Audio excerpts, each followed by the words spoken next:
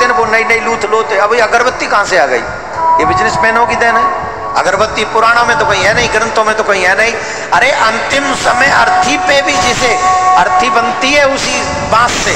उस बाँस को भी नहीं जलाते चिता में। और हम लोग घर में बाँस जलाते हैं। जिस घर में बाँस जलाए जाते, पितृ रुष्ट हो जाते हैं। जिस घर में बाँस जलाए जाते, जिनके द्वारा बाँस जलाए जाते हैं, उनके घर में भूत प्रेत पिशाचों का प्रवेश होता है।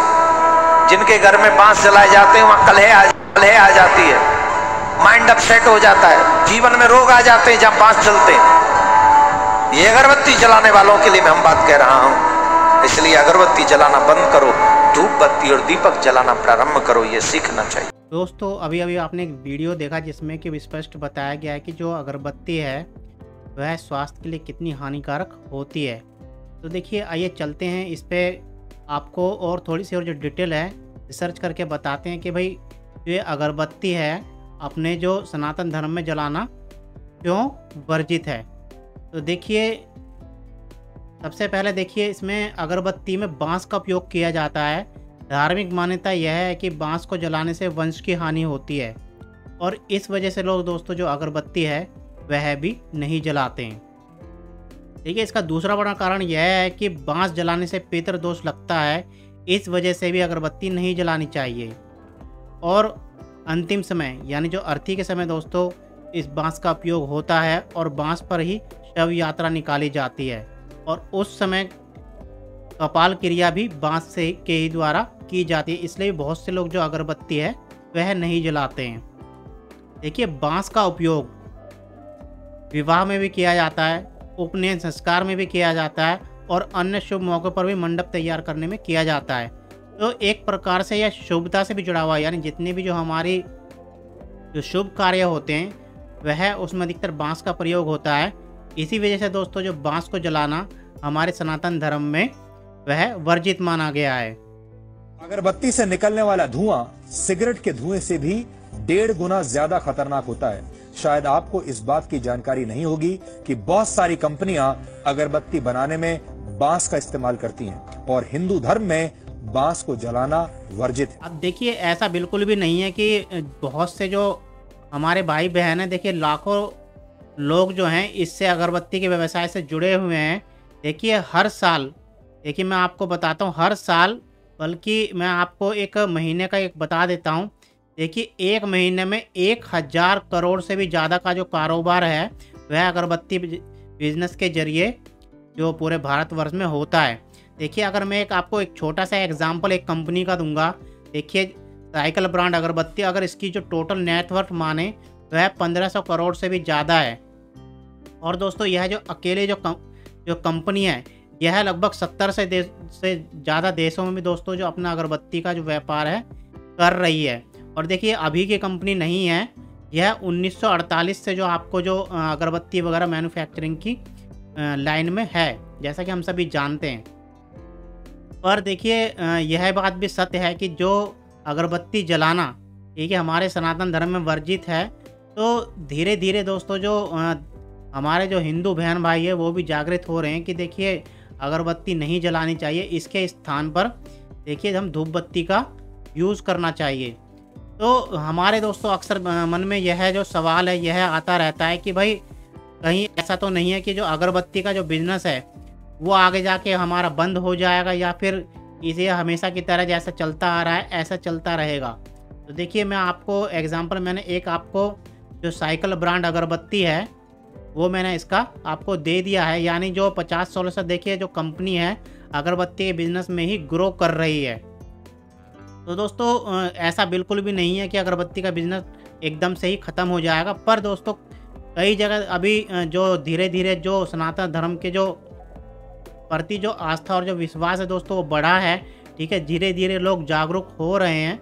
तो बहुत से अक्सर जो लोग हैं, उनके मुँह से भी आपने सुना होगा कि भाई जो अगरबत्ती है, हमको यूज़ नहीं करनी चाहिए। देखिए, मैं आपको एक एग्ज़ाम्पल के सहायता से और समझाता हूँ। तो आज से लगभग 20 साल पहले की बात है। तो मेरे यहाँ पर दोस्तों 10 से लेके जो 20 लेबर अगरबत्ती काम किया करती थी। तो धीरे धीरे दोस्तों, मेरे जो अगरबत्ती काम है, वो शून्य होता गया। क्यों?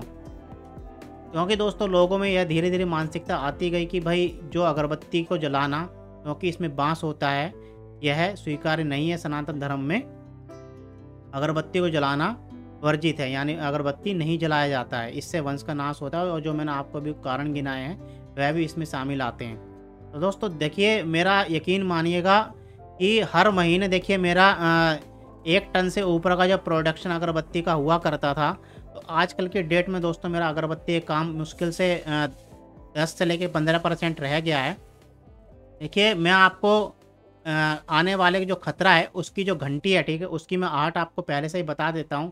तो देखिए जब मेरा इतना बड़ा काम है तो ये जो मान्यता है इसके कारण कम हो सकता है। तो दोस्तों किसी का भी हो सकता है। आप भी फ़ील्ड में अगरबत्ती अपनी सेल करने के लिए जाते होंगे तो आ, आपको भी अक्सर यह बात सुननी सुनने को मिलती होगी कि भाई आपको अगरबत्ती नहीं जलानी चाहिए धूप बत्ती इस्तेमाल करनी चाहिए। तो देखिए, बहुत से जो अब जो मैन्युफैक्चरर हैं तो उन्होंने भी दोस्तों क्या कर दिया है कि बिना बाँस की जो अगरबत्ती है, वह निकालनी शुरू कर दिया कि भाई इसमें बाँस नहीं होता है। ठीक है, कई लोग आठ इंची भी निकाल रहे हैं, कई लोग नौ इंची भी निकाल रहे हैं, ठीक है, वो कितना सक्सेसफुल है, ये तो दोस्तों आगे आने वाले समय में ही पता लगेगा। और देखिए मार्केट को, के जो ट्रेंड को, ठीक है, आपको फॉलो करते हुए चलना होगा। यानी आपको अगरबत्ती के साथ साथ ठीक है धूप बत्ती भी साथ में रखना पड़ेगा, गीला धूप भी रखना पड़ेगा समरानी कप भी रखना पड़ेगा। ठीक है, अगर आप दोस्तों मार्केट के साथ साथ नहीं चलेंगे तो आगे आने वाली दोस्तों जो आपको बिज़नेस में काफ़ी ज़्यादा जो दिक्कतें होने वाली हैं। क्योंकि देखिए जो अगरबत्ती बिज़नेस है, ठीक है, ये धीरे धीरे जहाँ जहाँ पर जो लोग जागरूक होते जा रहे हैं वहाँ वहाँ पर अगरबत्ती उन लोगों ने जलाना बंद कर दिया है। देखिए, मैं आपको एक छोटा सा एक और एग्ज़ाम्पल बताता हूँ। देखिए, मैं एक जगह घूमने गया था आजमगढ़ के पास में एक बहुत बड़ा फ़ेमस जो तीर्थ स्थल मान लीजिए, ठीक है? तो महाराजगंज है, वहाँ पे एक जो पीर पड़ती है मतलब वहाँ पे हनुमान जी का भी मंदिर है। तो एग्जैक्ट मेरे को पता नहीं है, देखिए वहाँ पर यकीन मानिए हल मंगल और बृहस्पतिवार को मेला लगता है। तो वहाँ पे दोस्तों पहले काफ़ी ज़्यादा मात्रा में अगरबत्ती जलाई जाती थी। और यकीन मानिए वहाँ पर जो क्विंटलों जो अगरबत्ती है, वहाँ पर खर्च की हो जाया करती थी रोज़ाना। इस जगह पे दोस्तों रोज़ाना करीबन हज़ार, दो हज़ार आदमी आ रहा है और अगरबत्ती जला रहे तो आप सोच सकते हैं वहाँ पर जो अगरबत्ती है, इतना यूज़ हो रही होगी। और अगर आप इस समय वहाँ पर जाएँगे, देखिए तो वहाँ पर जगह जगह दीवारों पर लिखा हुआ मिलेगा कि इस स्थान पर अगरबत्ती जलाना वर्जित है, यहाँ पर अगरबत्ती कृपया ना जलाएँ। तो जितने भी जो अगरबत्ती बेचने वाले थे दोस्तों, उनका सबका काम वहाँ पर बंद हो गया नहीं जो अगरबत्ती जलाने वाले थे बंद हो गया। अब उसके स्थान पर दोस्तों उन्होंने क्या रखा है? उनके स्थान पर उन्होंने रखा है धूप बत्ती तो यही बात मैं दोस्तों आपको समझाने की कोशिश कर रहा हूँ कि देखिए, अगरबत्ती का जो काम है धीरे धीरे आने वाले समय में दोस्तों कम होता जाएगा, ठीक है? इसके स्थान पर धीरे धीरे धूप बत्ती बढ़ती जाएगी। तो अगर आप दोस्तों पहले से इस बारे में जागरूक होते हैं, ठीक है? तो आपको आने वाले दोस्तों कोई भी दिक्कत नहीं होगी। क्यों? क्योंकि आप मार्केट के अगर ट्रेंड के साथ में चलते हैं, देखिए, मैं भी पहले इस तरह अगरबत्ती का, जो मैंने आपको बताया थोड़ी देर पहले एग्ज़ाम्पल कि मेरा अगरबत्ती का इतना बड़ा काम था। तो साथ ही साथ दोस्तों, मैंने किस चीज़ का काम पढ़ा? मैंने कौन का काम पढ़ा? समरानी कप का पढ़ा? गीली धूप? मतलब जो वाला दोस्तों, अगरबत्ती मेरी कम होती गई, मेरी और चीज़ें वो बढ़ते गए तो दोस्तों, मेरे को कोई फ़र्क भी नहीं पड़ा, चाहे मेरी अगरबत्ती बिके या फिर ना बिके। तो ये जो डर दोस्तों, हमारे को हमेशा बना रहेगा कि हमारा अगरबत्ती का बिज़नेस है। वह कहीं बंद तो नहीं हो जाएगा। तो इससे दोस्तों बचने का, इस डर को दोस्तों दूर करने का उपाय केवल एक है कि आप जो है, ठीक है, इसके अल्टरनेट जो है, वो भी अपने बिज़नेस में शामिल करिए जिससे जो आपके आने वाले समय में आपको कोई भी दिक्कत ना हो। तो आई होप जो आज का जो वीडियो आपको काफ़ी ज़्यादा इन्फॉर्मेटिव लगा होगा। दोस्तों वीडियो अच्छा लगा हो तो लाइक कर देना। चैनल पे दोस्तों नए हो तो चैनल को सब्सक्राइब कर देना। मैं फिर से मिलूँगा एक और ऐसे ही यूज़फुल इन्फॉर्मेशन के साथ। तब तक के लिए जय हिंद